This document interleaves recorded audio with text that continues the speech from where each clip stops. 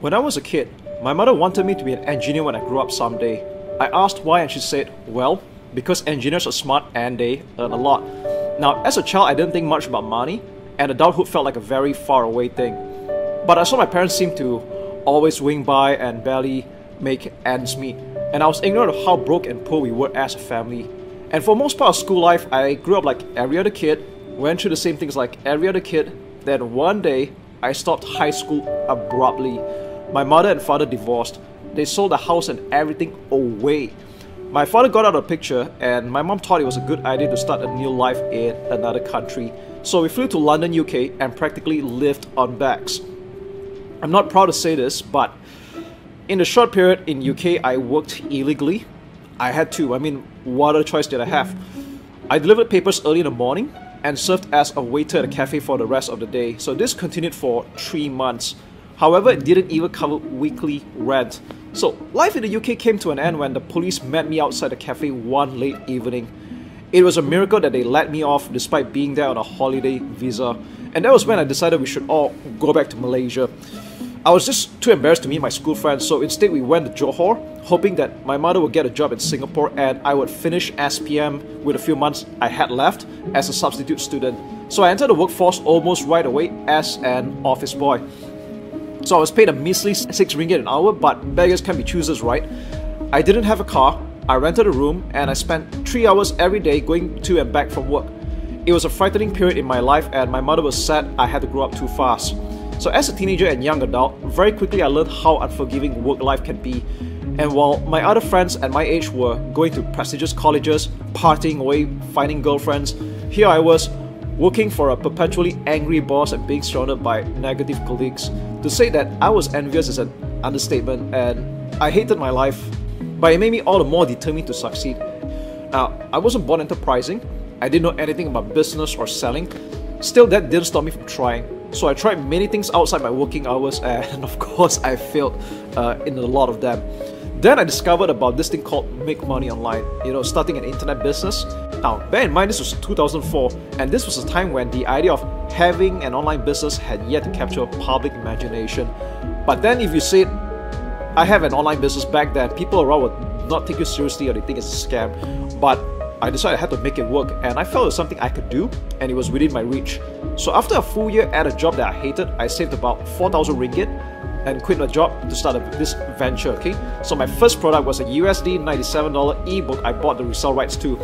So the place I stayed in had no broadband, so I had to settle for a 56k modem. It's crazy to think about it, paying 10 times the price for 1 10 the speed. But that was exactly how business was founded on, and I didn't know what I was doing. I didn't make anything at all in the first 3 months. The little savings I had got wiped out. Bills were piling and we got eviction notices, and this was the hardest period of my life. I thought of giving up and go get another job, but for some reason I never got it. So then one random night, I made my first sale. I, I had to rub my eyes. I was in a state of disbelief. I mean, oh my god, I made my first sale. So maybe it was luck, maybe I did something that worked, and then another sale came in a few days later, then another, then another. Soon we made enough to withdraw some money from the ATM and pay a bit of bills here and there. You know, keep the bill collectors at bay for a while. I would still struggle for several more months, then came the big whopper. I launched my first ebooks online and made slightly more than 8,000 US dollars. Now, it may not seem impressive by today's standards, but back then, I had never seen that kind of money in my life. And after paying off expenses and clearing all our outstanding debt, there was still excess of 13,000 ringgit in the account. You know, when you're not doing very well, $10,000 would seem like a million dollars. And at the time, I just felt like the richest person in the world. So for the next several years, I continued to build and grow my online business. My understanding began to mature and I got a grasp of how internet marketing works. So as a Malaysian, I can earn in US dollars or in any other currency and spend in ringgits. I get to travel the world, get to meet high-level entrepreneurs and all-around amazing people, get to work from home or wherever I take my laptop to, and with time freedom, I get to excel in hobbies and interests that I am passionate about, like airsoft, parkour. And for my mother, I promised that she never had to get another job again and retired 10 years earlier than most people. And for my sister, even though I didn't get to go to college, I was able to put her into one just in time.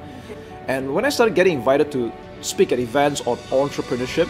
I started to coach and train other business owners and those in the making to make money online and use the power of internet and social media. And that was when I realized that I'm not in the business of information after all, but rather in the business of transformation. So we're living in the most exciting times right now.